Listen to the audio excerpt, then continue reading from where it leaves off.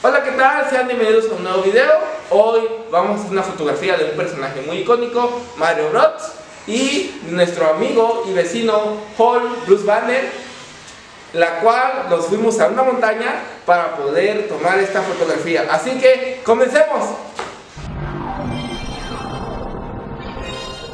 Bueno, para esta fotografía fuimos a una montaña en la cual normalmente es donde tomamos nuestras sesiones de fotografía ahorita en estos días de temporada seca, ya cuando haya más vegetación haremos otro tipo de fotografías, pero de mientras que estamos en temporada seca, aquí donde nosotros estamos en esta región, este, vamos a tomar este tipo de fotos con polvo.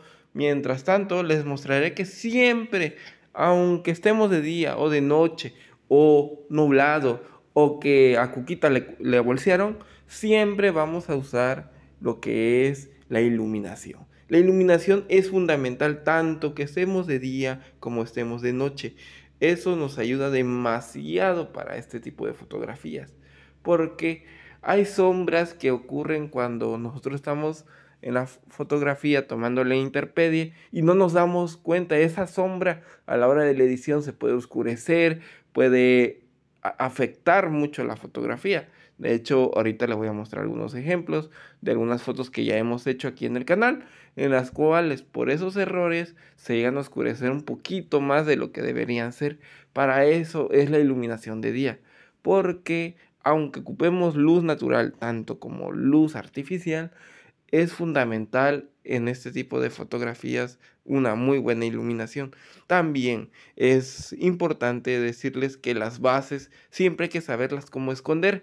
En este caso, como podrán ver, estas bases tiene Mario una colgada que es verde, obviamente se ve bien evidente que es una fotografía con una figura que tiene algo que estorba y Hall tiene una base de metal la cual ya han visto en videos anteriores en que podemos usar como base y poder ocultarlo o poder prensar figura, la cual a la hora de hacer estas fotos, como podrán ver, igual cambiamos de, de escenario. Para esta fotografía usamos dos diferentes posiciones. Una donde Mario lo están correteando y otra donde Mario está ya siendo golpeado la cual la pueden ver en nuestros shorts, eh, tanto en YouTube, en Instagram y en TikTok. En este caso podrán ver que esta fotografía que hicimos con Hall le dimos una muy buena zarandeada en el polvo, en la tierra y con nuestra maquinita de polvo que es soplando una manguera creamos el efecto de explosión, de movimiento. Eso le da más realismo a lo que es la fotografía.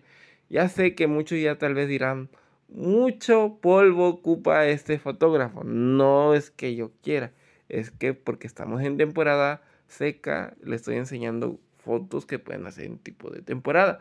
Ahorita ya esperemos y ya estemos en temporada de lluvia, vamos a hacer fotos con humedad, con lluvia, con, con agua, el cual el presupuesto espero y alcance para fotos con agua ya también algún día que otro especial, algo de fuego, entre otras cosas que ya hemos visto aquí en el canal. Podrán ver que para que las piedras se vean flotando ocupamos lo que son alambres. Esos alambres ayudan a sostener las figuras. Con la edición lo que llegamos a quitar. Ya hemos hecho videos aquí en el canal donde con la aplicación Snapseed podemos editar eso. Yo normalmente igual lo hago en Photoshop, pero también podemos hacerlo desde Snapseed. Es muy fácil, la verdad. Yo les recomiendo esa aplicación si quieren ver más tutoriales de cómo edito desde esa aplicación o ver mis videos anteriores, yo se lo agradecería demasiado.